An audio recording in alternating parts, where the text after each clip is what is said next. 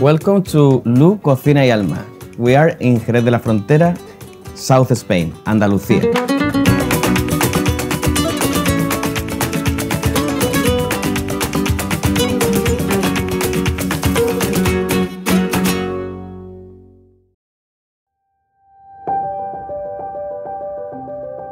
This is our first appetizer. It's a tribute for uh, oyster butter from Paris, but with our coquillage from Cádiz.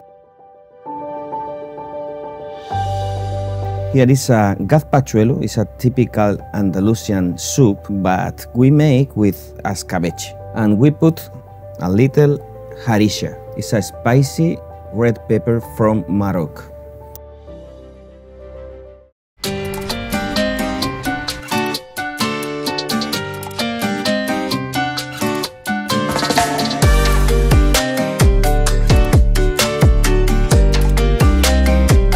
This is um, cured egg yolk.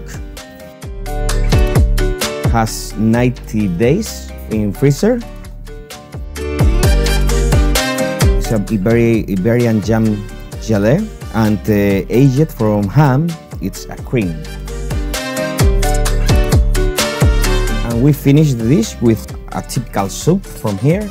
Its name is sopa de picadillo. This is a, a special part of the dish because here in, in Jerez, our grandfathers put uh, sherry wine into the soups. And we put here uh, very old olorosos with 80 years.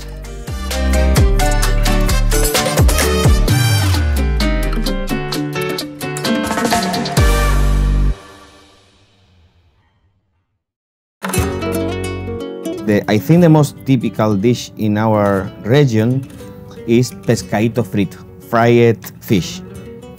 And this is a technique to, to make a very elegant fried fish. It's very important uh, to make only the, the skin with the sourdough because we have here the perfect temperature and the perfect texture in the fish. The sourdough it's souffle and it's very fine and, and crunchy. This traditional dish is called bien me sabe.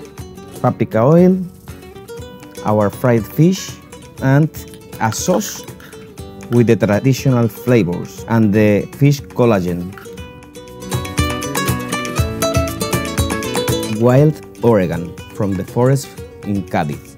And the last step is the crunch of the fried uh, typical bars with puntita de fritura. And now you can try the typical fried fish from Cádiz.